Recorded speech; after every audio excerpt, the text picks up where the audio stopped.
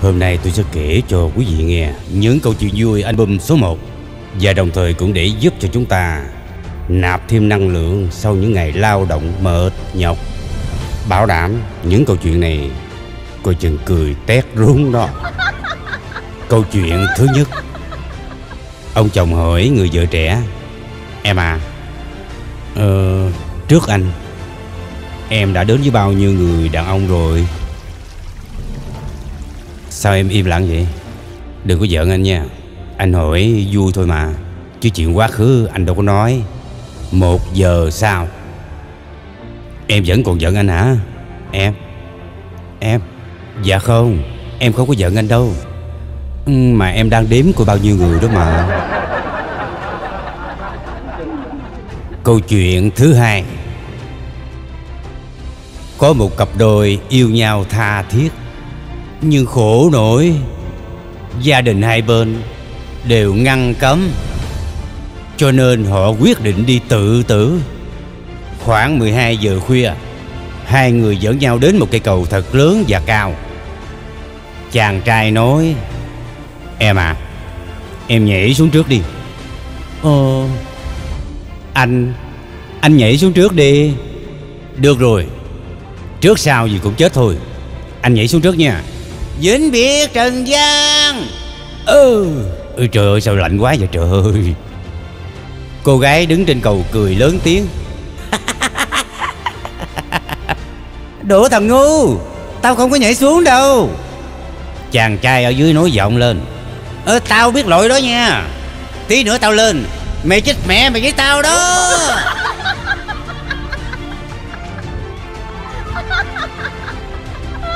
Bởi vậy khi yêu nhau, Hãy tìm hiểu cho thật kỹ nha hả? Câu chuyện thứ ba. Hai vợ chồng già ngồi nói chuyện với nhau. Tôi hỏi bà nè, Lúc bà ngồi xe ôm á, Bà ôm cái thằng lái xe, Bà thấy có thích không hả?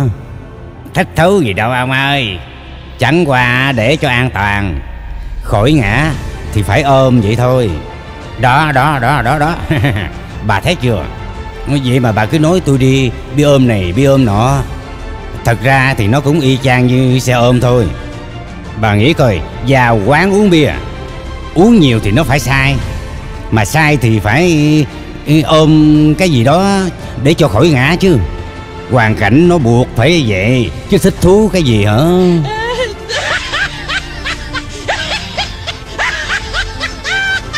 Mấy ông bạn mai mốt có đi uống bia ôm nhớ đổi thừa như vậy đó nha hả? Nhớ nói khéo khéo nha kẻo mấy bà chửi tôi đó. Câu chuyện thứ tư. Có một quá phụ trung tuổi rất xinh đẹp. Và giàu có. Bà tâm sự với anh tài xế. Chả giấu gì anh. Trước đây tôi trẻ trung, xinh đẹp. Chỉ vì ham tiền Nên mới lấy ông tỷ phú già làm chồng. Ông ấy già quá, Chưa có cho tôi được một đứa con nào hết Thì vội lăn ra chết. Giờ tôi thì chẳng có thiếu gì tiền. Chỉ khao khát có một đứa con Cho tuổi già đỡ cô quạnh. Anh có thể giúp tôi việc ấy được không? Nghe bà chủ nói, Anh tài xế rạng rỡ nét mặt. Anh nói một cách quả quyết. Trời ơi, tưởng việc gì chứ? Việc ấy thì dạ được ạ. À? Rồi anh quỳ xuống chân bà. Thưa mẹ, Từ nay con sẽ là con trai ngoan của mẹ nha, hả? Tuy mẹ không có sinh ra con, Nhưng con xin hứa sẽ chăm sóc mẹ đến lúc cuối đời đó.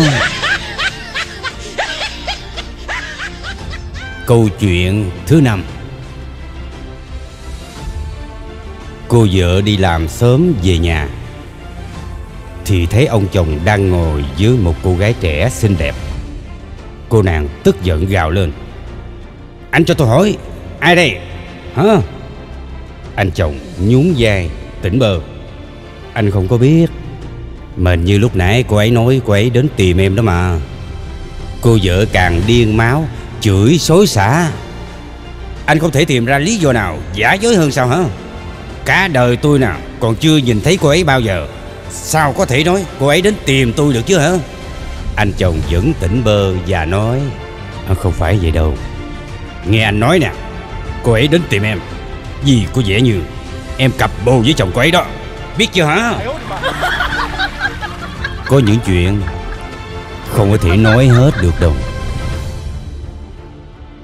Câu chuyện thứ sáu. Vợ đi làm gì Mặt mày cau có ủ dột. Thế vậy, Chồng lại gần ân cần hỏi, Vợ à Ở cơ quan Có chuyện gì vậy em? Bà vợ hầm hực, Lườm lườm chồng. Anh còn phải hỏi nữa, Thật tức chết lên được mà. Hôm nay, Con quệ ở phòng, Nó khoe rằng Chồng nó cứ nhìn thấy nó Là lại muốn Muốn gì vậy vợ? Kể xong rồi cô lại dên giáo hỏi em. Anh nhà chị thế nào? Anh bảo em phải trả lời thế nào đây hả? Chồng rụt rè nói. Thì thật ra anh uh, Nhìn thấy cô ấy Anh cũng muốn lắm. Chỉ sợ cô ấy không có cho thôi. Ê, Đau Đau quá. Ừ đau mà. Cái này không biết vô tình hay cố ý đây hả? Câu chuyện thứ bảy một ngày nọ, Cô vợ muốn thử lòng chồng mình. Cô liền để lại trên tủ đầu giường Một bức thư. Trong thư cô viết là Đã chán chồng, Không muốn sống chung với anh ta nữa. Viết xong thư, Cô vội chui xuống gầm giường, Chuẩn bị quan sát phản ứng của chồng. Khi chồng cô về, Nhìn thấy lá thư, Đọc xong rồi, Anh liền viết gì đó vào lá thư. Rồi sau đó, Anh vừa hát, vừa nhảy nhót Và thay đồ chuẩn bị đi. Vừa thay đồ, Anh vừa gọi điện thoại. Em yêu, Anh sắp đi gặp em rồi đây. Ừ, Còn mụ vợ nhà anh cuối cùng đã bỏ đi rồi. Thật là năm xưa, Anh đúng là mắt bị mù mà, Nên mới cưới cô ta làm vợ đó. Giá mà anh gặp em sớm hả? Thì tốt biết mấy đó nha hả?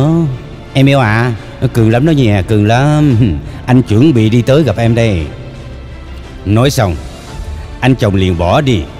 Cô vợ nghe xong, Khóc hết nước mắt.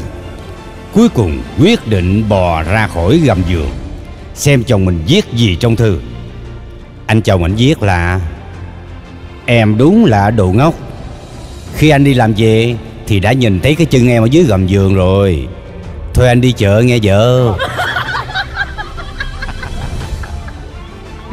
Chắc cô vợ này cái chân dài lắm nè. Câu chuyện thứ 8 Con trai hỏi ba. Ba ơi, Đàn ông sau khi cưới vợ về một thời gian, Rồi cảm giác như thế nào hả ba? Con lấy cái điện thoại ra đi, Rồi vào danh sách bài hát. Con chọn một bài nào mà con yêu thích nhất đó. Dạ rồi Rồi sao nữa ba? Con xóa hết tất cả các bài hát khác đi. Duy nhất chỉ chừa lại một bài hát mà con đã chọn thôi Chuyện này thì liên quan gì đến việc con lấy vợ đâu ba hả Con cứ thử tưởng tượng suốt những năm tháng còn lại của cuộc đời Con chỉ được nghe đúng một bản nhạc ấy đi Ba đảm bảo con sẽ hiểu Con trai ạ à. Suốt một thời gian mà nghe chỉ có một bài thôi sao hả Chán lắm à, à, à, rồi con biết rồi con biết rồi những câu chuyện vui thôi, Các bà đừng suy nghĩ nhiều nha hả? Câu chuyện thứ 9 Có một anh đưa bạn gái ra ngoài ô chơi. Nhân lúc vắng vẻ, Nên hai người chui xuống gầm xe để tâm sự. Đang lúc hành sự thi Bị một cảnh sát vỗ vai và hỏi, Anh làm gì dưới gầm xe vậy hả? Vốn nhanh trí, anh chàng trả lời Dạ thưa sếp, tôi đã sửa xe à. Cảnh sát thản nhiên ghi biên lai, phạt và nói, Tôi phạt anh do khai mang ba lần. Một là sửa xe thì người ta nằm ngửa, Anh thì nằm sấp. Hai là sửa xe người ta sắn quần lên, Còn anh thì tuột quần xuống. Còn ba là anh nói sửa xe, Nhưng mà xe tuột dốc mất rồi, Anh vẫn còn sửa là sao hả?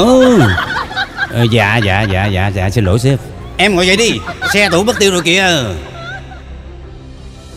Câu chuyện thứ 10 Cô vợ lén chồng đi phẫu thuật thẩm mỹ. Muốn gây bất ngờ cho chồng Cô nói với chồng là về quê ngoại Thăm gia đình ít ngày. Sau vài tuần lột xác Xinh đẹp Cô nàng hồi hộp Ấn chuông nhà mình và chờ đợi. Chồng ra mở cửa ngạc nhiên hỏi. Em Em là Là là. Nhìn thấy vẻ mặt nghi ngại của chồng Cô ngẩng cao mặt hỏi. Sao nào? Anh không nhận ra em à? Anh chồng nghe thế Mắt sáng rực rỡ. Ngó giáo giác xung quanh Rồi dồn giả nói. Ờ, ờ, ờ vào nhà liền đi em Vào nhà đi vào nhà đi. Không có sao đâu. Bà vợ anh nó đi về quê mất tiêu rồi. Đúng là cái anh này quá chung thủy với vợ mà. Câu chuyện thứ 11 Ông Bảy tới nhà gõ cửa. Ờ, Ba mày có nhà không? Dạ thế con đi ra ruộng rồi. Vậy má mày có nhà không? Dạ má con cũng đi chợ rồi Trời ơi vậy thằng anh mày có nhà không? Dạ anh con cũng đi ruộng với tiếc con. Ông Bảy tờ ngần chưa muốn đi. Thằng nhỏ hỏi. Dạ mà bác cần gì? Con có thể lấy cho bác mượn được mà. Tao chỉ muốn nói chuyện với tía mày. Để coi cái tía mày tính sao. Vì việc ờ, thằng anh của mày á Nó làm con hai nhà tao có bầu rồi. Dạ. Vậy chuyện này con phải hỏi tía con mới được Con chỉ biết khi lấy giống cho heo. Thì ổng tính có một triệu à. Cho bò thì ổng lấy 2 triệu đó. Còn giống từ anh của con hả? Con cũng không biết ổng lấy bao nhiêu nữa. Trời ơi trời trời thằng mất gì hết. Dạ nghĩ sao nói vậy mà sao ông bảy chữa con chứ hả? Không ngờ thằng nhỏ này nó khờ thông minh quá chứ hả? Câu chuyện thứ 12 Vợ hỏi chồng anh đi xem xiết ừ, đêm nay Có vui không anh? Ông chồng nhún dài Cũng hay đó, Nhưng mà ảo thuật có thì chán quá. Sao mà chán vậy anh? Là vậy nè. Có một cô gái trẻ xinh đẹp Bước ra sân khấu rồi đứng vào trong tủ. Nhà ảo thuật hồ biến. Khi mở tủ ra thì cô gái biến mất, chỉ còn lại quần áo. Cô dựa ngạc nhiên hỏi ồ thế vậy là quá hay rồi, sao anh lại chán chứ? Ông chồng cười ranh mảnh. Sao mà không chán chứ? Giá như nhà ảo thuật làm ngược lại. Cho quần áo biến mất, vậy có phải hay hơn không hả? Trời trời trời trời trời trời. Ông chồng này thật là liều mạng đó nha. Câu chuyện thứ 13 Có ba chàng trai đến nhà cô gái hỏi cưới. Phụ huynh mời tự giới thiệu. A nói Dạ nhà cháu có vài tỷ đồng đó. B nói, Nhà cháu có một loạt bất động sản, Trị giá vài chục tỷ đó, bác. Còn anh C nói Dạ Còn con thì không có gì cả. Ngoài đứa con trong bụng của con gái bác thôi đó. AB không có nói gì hết, Vội chạy sắc mặt. Suy ngẫm, Khi cạnh tranh, Chưa hẳn có tiền mới giải quyết được Mấu chốt là ta phải có nội ứng Ở vị trí thích hợp, Có phải không hả? Câu chuyện thứ 14 một anh đi ra mắt cha của người yêu. Dạ Con chào bác. Ừ ngoan đó. Bác chào con. Bác cho cháu xin điếu thuốc được không hả? Cậu hút thuốc nữa Dạ khi uống bia, cháu hay hút thuốc. Cả bia nữa. Dạ. Lúc thua bạc Cháu buồn cháu hay uống bia. Cờ bạc nữa Dạ. Vì lúc ở trong tù Đâu có chuyện gì làm đâu hả bác Sao lại vào tù? Dạ. Tại lúc trước Cháu cũng đi ra mắt cha của người yêu. Nhưng ông ấy không có đồng ý Nên cháu mới xử ổng. Trời ơi trời trời trời trời trời Nghiệp chương Ông già này chắc cũng là người trong giang hồ hay sao đó hả Câu chuyện thứ 15 Một anh chàng có vợ mới sinh. Anh viết thư về khoe với mẹ. Mẹ ơi, Vợ con đã sinh được một đứa con trai. Nhưng không biết sao, Vợ con không có sữa. Nên phải nhờ một cái người kia cho bú giùm. Cô ấy nước da đen. Vì thế, khi con gặp đứa con của con Ờ mà ngộ lắm nghe mẹ. Sao tóc của nó xoăn, Mà da của nó cũng đen nữa. Y như người châu Phi vậy đó. Bà mẹ hiểu chuyện rồi, Nên lập tức viết thư cho con trai. Con trai yêu quý của mẹ. Mẹ rất mừng khi nhận được thư của con. Để mẹ kể cho con nghe nha. Ngày xưa, Khi mẹ sinh con ra, Mẹ cũng không có sữa, Nên đã phải cho bú sữa bò. Vì thế, cho nên bây giờ, Con vừa ngu, Vừa có cái sừng ở trên đầu nữa đó. Con đâu có thấy cái sừng nào đâu mẹ. Bộ nó đang mọc hả mẹ? Ha ha ha, đã quá. Ta được mọc sừng rồi. Thật tội nghiệp cho anh chàng khù khờ quá đi. Câu chuyện thứ 16 Người cha suốt ngày phàn nàn với thằng con. Trai tráng dĩa ngần này tuổi đầu rồi, Mà vẫn không tài nào có được một con bồ. Thằng này thứ thiệt của dở quá Không giống tôi gì hết. Thằng con ngẩng cổ lên nói Cha có giỏi thì tán thử đi. Con với cha ra ngoài kia kìa Thi thử xem coi Thằng nào tán được trước hả? Ê, Trời ơi riết rồi nó kêu Thằng nào luôn rồi? Được rồi Tao đi ra ngoài với mày nè Thử coi. Hai cha con đi ra ngoài ngõ Thấy một cô bé rất là xinh đẹp Đi xe đạp lướt qua. Người con nhanh chóng tán tỉnh À em gái ơi. À, Anh rất là yêu em đó. Em có yêu anh không hả? Gặp đúng cô đành đá. Cô này ngoái lại và nói Yêu, yêu cái gì? Tự nhiên yêu, yêu thằng cha mày chứ yêu. Nghe câu này ông bố cẩn lên. À, Đó, đó, đó, đó, đó thấy chưa? Mày thua tao rồi. Ê con nhỏ kia Tại sao tao cua mày mà mày thương ông già tao hả? Chúc tất cả gia đình luôn nhiều sức khỏe và niềm vui. Nhớ đăng ký kênh và bấm vào cái chuông Để nhận được thông báo những bài đăng mới nhất của Vũ Tuấn nha hả? Một lần nữa, xin kính chúc gia đình luôn thật nhiều sức khỏe và niềm vui. Xin cảm ơn gia đình rất nhiều.